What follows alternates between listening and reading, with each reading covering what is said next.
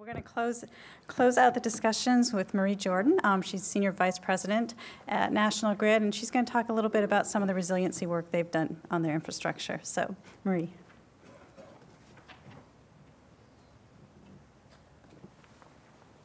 Thank you. Good afternoon. Um, I'd like to talk to you a little bit about what we're seeing from a utility perspective. You know, the economic damages from weather-related events peaked in 2012. Believe it or not, we had 800 major events in the U.S., caused about $130 billion worth of loss. That's a lot of money. And when you think about Superstorm Sandy, the droughts, the tornadoes in the Midwest, and how do we improve the resiliency of our networks? I was around, I had come out from the West Coast about four years ago to National Grid, and I'll tell you, watching the damage on Long Island after Hurricane Sandy, I never thought I'd see that. I never thought in my 31 year career with utilities I'd ever see us face both damage to the electric system and damage to the gas system. Only 10% of the people on Long Island had power at the end of the event. That's amazing. I just, you know, to think about the Midwest and the tornadoes and those types of things, either one commodity gets impacted or the other. But we also lost about 30% of our gas network. So we lost both, which was a, a event that we had not really expected to happen in that magnitude. So if we look at what our challenges are, we talk about that aging infrastructure. You know, America's electric and gas network is about an average of 70 years old right now. And think about that, this was the marvel of the 20th century. Getting together a grid that was so interconnected between companies and being able to serve and having this level of reliability that people expect and take for granted. You know, when you walk in a room to flick the switch, you expect the lights to go on. You don't wonder if you're going to have electricity that day. So we've really created quite a marvel for the 20th century. It's not fitting the world today. So if we think about the inefficient loss of energy in the system the way we've had it built, it's astounding. So if you look at, there's a report by the Alliance to Save Energy 2030, and it talks about the inefficiencies of the network the way we have it built. So some, some statistics. 54% of the energy, electricity that's generated and the gas that's transported is lost in the process of transportation.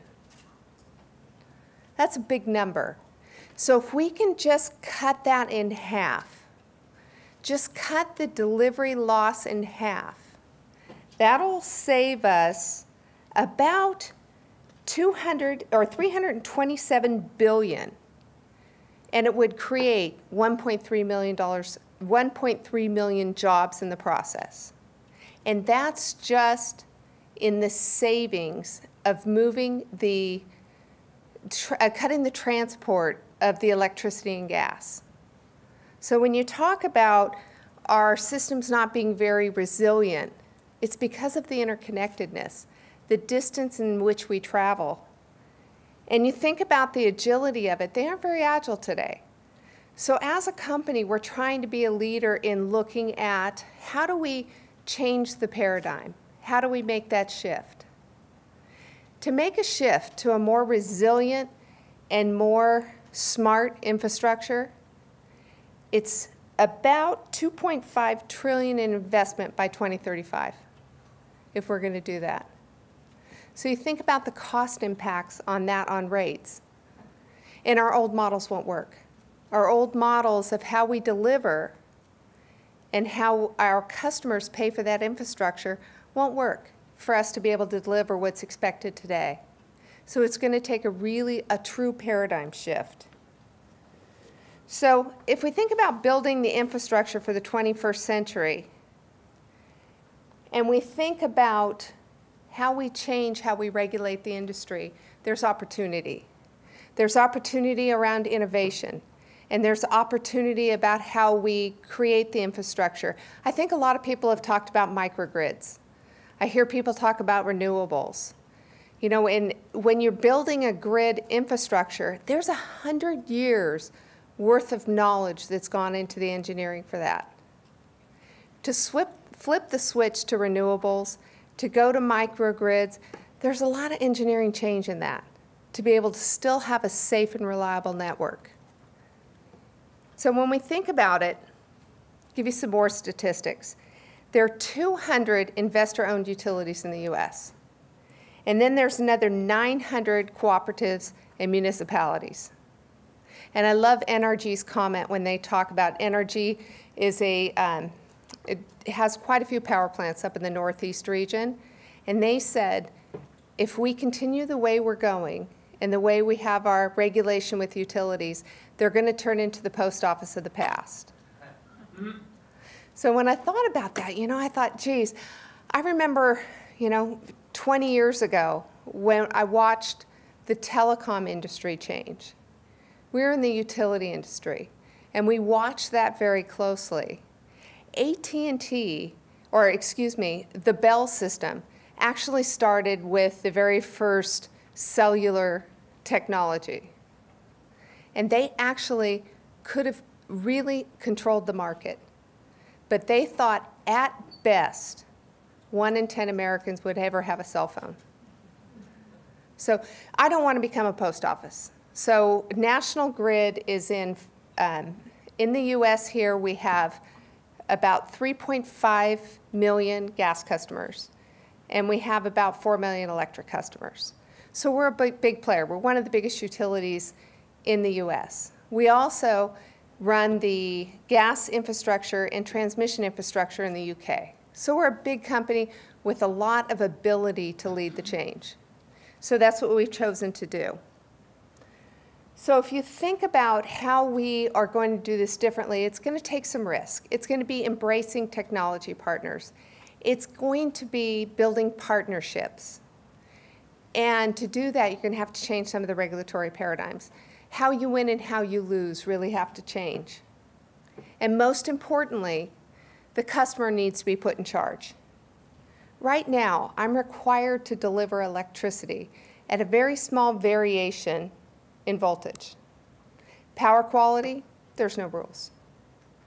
If I talk to our, our, one of our largest customers in upstate New York, Global Foundries, one blip can cost them a million dollars, depending upon where they are when they're doing their work. So if you think about a blip in electricity costing a customer a million dollars, and they're hooked on an electric system up in upstate New York that has trees, more birds with wingspans than you can imagine, and you have this constant interruption that goes through areas like that.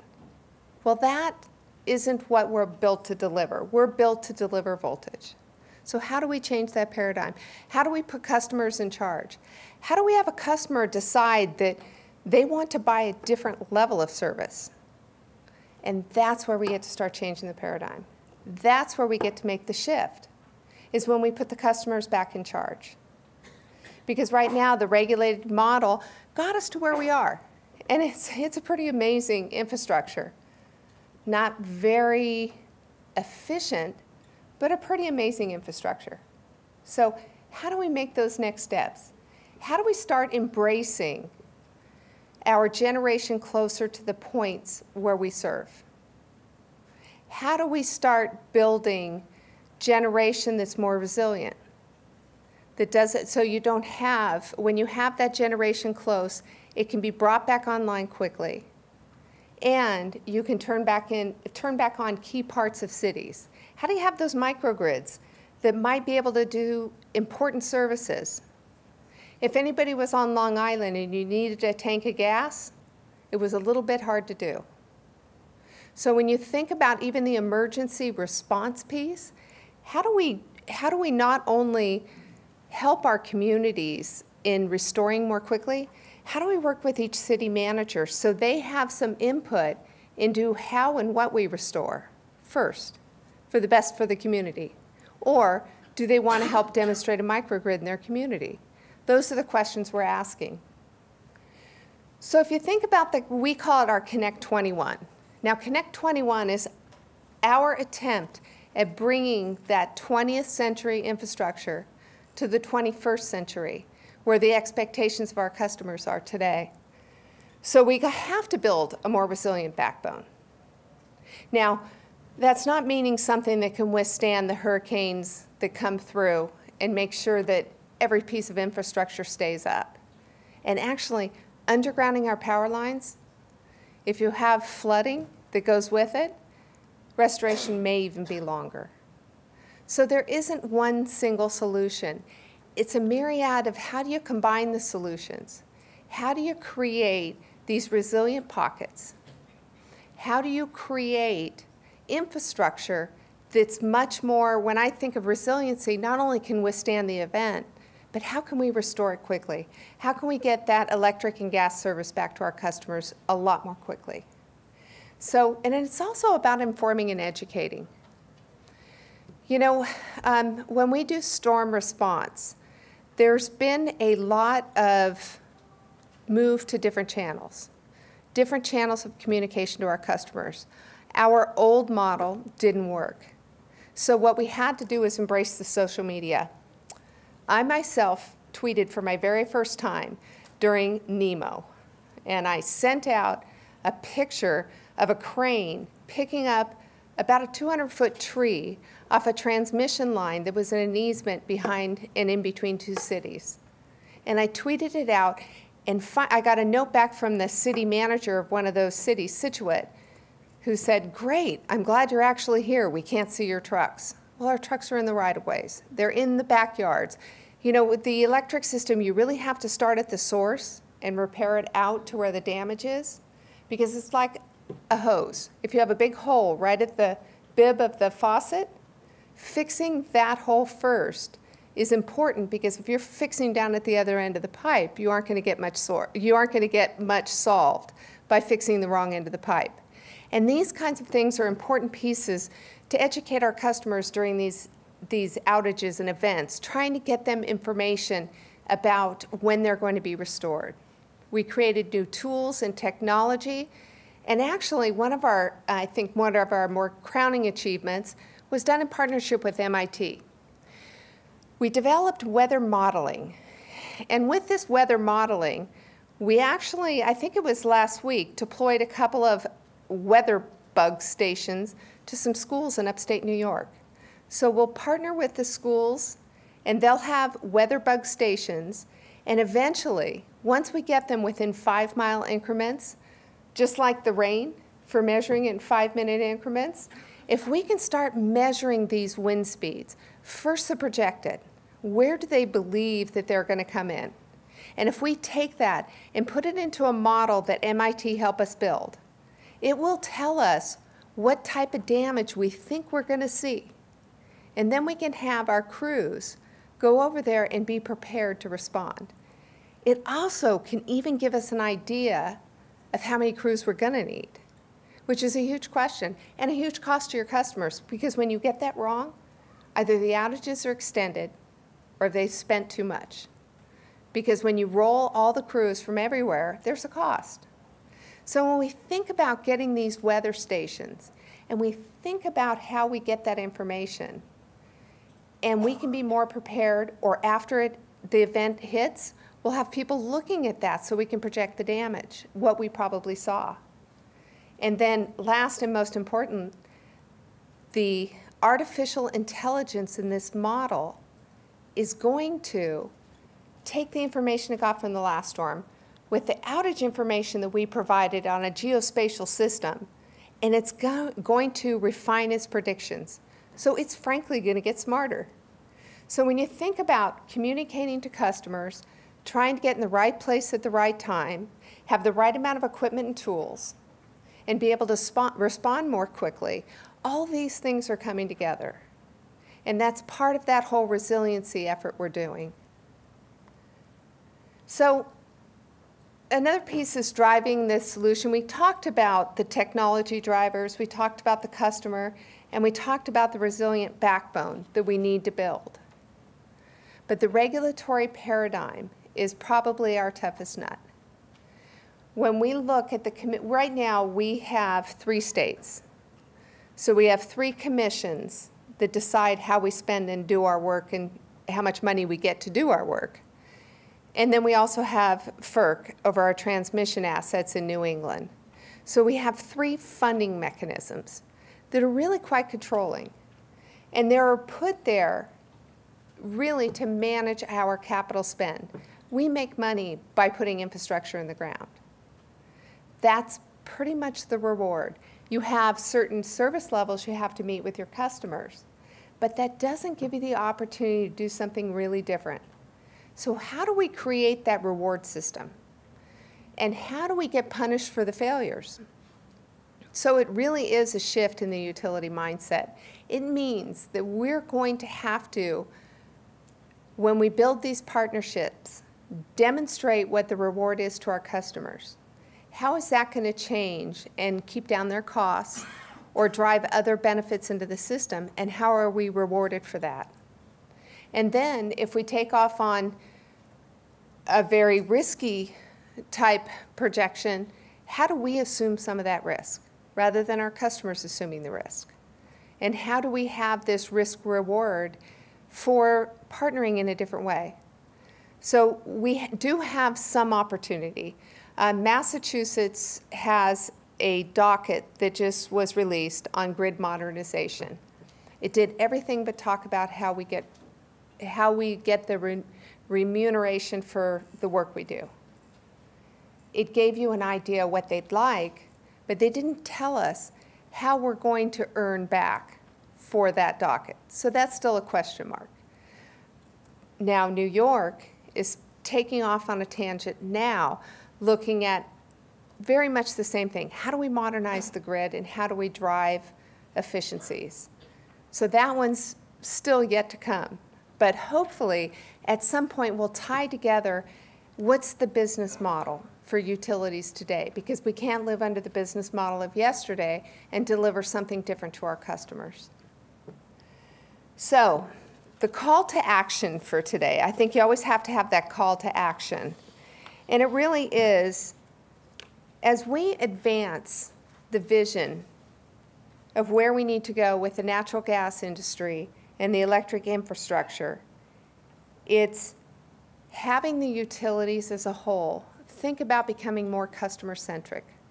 We, as a utility group, need to think differently about our customers. You know, it's interesting. 30 years ago, they called them ratepayers.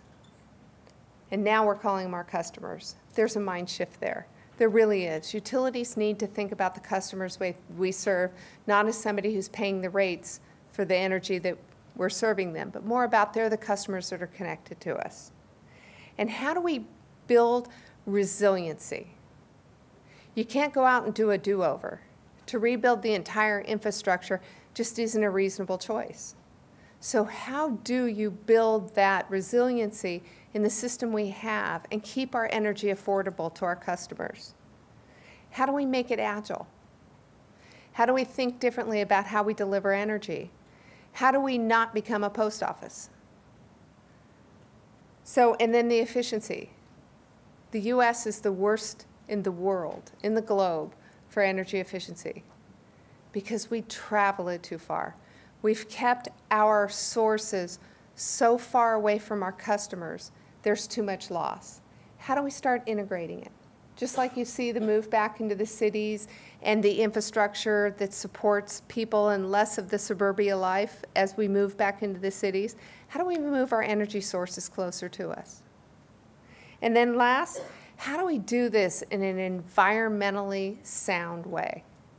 How do we go about this next generation of our infrastructure and match it to the environment that we live and make it not impact the environment? So, a lot to chew on and a lot to think about, but a lot goes into our discussions around resiliency. There isn't one answer. Back to the discussion Mike had up front how do you take that one stone and get two birds? How do you do that in the utility infrastructure world as well? So with that, I think we turn it over now, go back to the panel.